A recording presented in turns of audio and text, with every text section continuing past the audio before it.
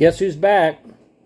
So I want to uh, do a little review video now, okay? I've got to do a review video, and yes, I'm, I'm not supposed to have done it, but I couldn't help it because last time I went there, before I gave up all the sugar and candy, they had discontinued it. Well, they brought it back. So I went to lunch at Wienerschnitzel today, and they brought back their Fruit Loops dipped cone. And I'm like,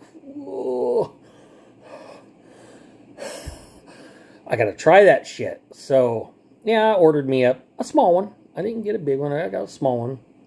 And, oh my God. I mean, I'm like a fucking dog in heat, man. It was so fucking good. I wanted, it was like, fucking give me another. I mean, it was so fucking good. Like, oh.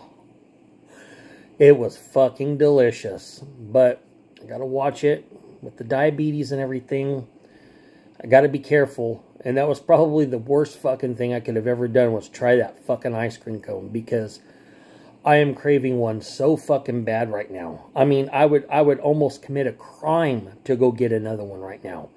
But I want to go to work in the morning, so I'm not going to do that. And I have to let my body know, hey, not to have high blood sugars tonight, even though I'm fucking craving this Fruit Loops dipped cone so bad. But I'm to tell you guys right now, go there.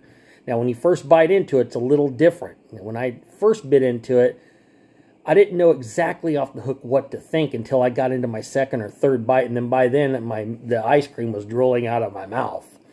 And uh, yeah, it was it was that fucking good. And then I ended up just getting hooked on that. So yes, when you go to Wienerschnitzel for a limited time, get the Fruit Loops dipped cone. You will not regret it. Peace out, my friends. Try it. It's good.